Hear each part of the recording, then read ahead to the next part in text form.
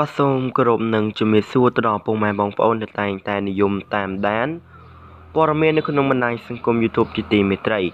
បាទសម្រាប់ថ្ងៃដែរខ្ញុំបានលើកយកអត្ថបទព្រមានថ្មីមួយទៀតហើយសម្រាប់ចែកជូនពុកម៉ែបងប្អូនទស្សនាកំសាន្តដែលមានចំណងជើងថា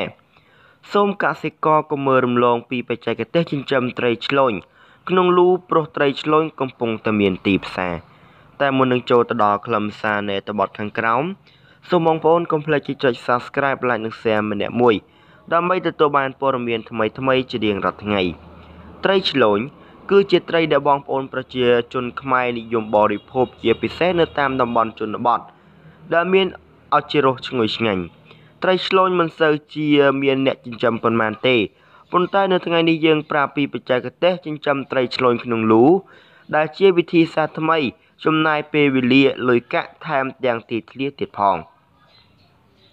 1 ការរៀបចំលូចិញ្ចឹមលូស៊ីម៉ង់មានទំហំធំល្មម និងមានកម្ពស់7តឹក ការពារកុំឲ្យវាលោតចេញរៀបចំប្រព័ន្ធបច្ចេកទេសបាទបញ្ចូលទឹកឲ្យបានល្អ ដើម្បីងាយស្រួលផ្លាស់ប្ដូរទឹកចេញកុំឲ្យស្អុយព្រោះត្រីឆ្លូញស៊ីសាច់ជាចំណីដាក់ប្រភេទដីស្អិតពីបាតបាត្រពាំងចូលកម្រាស់ពីទឹក ចាក់ទឹកចូលកម្ពស់4ទឹក យកកំប្លោកចកនិងត្រកួនទឹកមួយចំនួនដាក់ចូលក្នុងអាង2ការដាក់កូនត្រីចិញ្ចឹមនិងការថែទាំទិញកូនត្រីពូជពីកសិដ្ឋានបង្កាត់ពូជត្រីឬអាចទិញមេនិងបាដែលធំល្អពីផ្សារមកចិញ្ចឹមយកពូជកូនដោយខ្លួនឯងយកត្រីដែលមានអាយុ3សប្តាហ៍ដាក់ចូលក្នុងលូចិញ្ចឹមដែលរៀបចំរួចរាល់នោះ ត្រូវបដូរទឹកចេញរៀងរាល់មួយសប្តាហ៍ម្ដង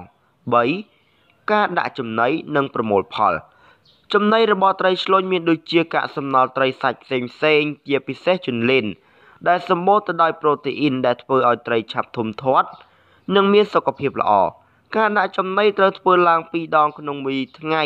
ព្រឹកនិងល្ងាចចិញ្ចឹមបាន6ទៅ7ថ្ងៃយើងអាចប្រមូលផលបានហើយ។ បាទអញ្ចឹងសម្រាប់អត្ថបទព្រមាននេះតកតងទៅនឹងការចិញ្ចឹមត្រីឆ្លូញបាទដែលខ្ញុំបានអានជូនបងប្អូននេះក៏មានតែប៉ុណ្ណឹងបាទសូមអរគុណសូមគោរពលា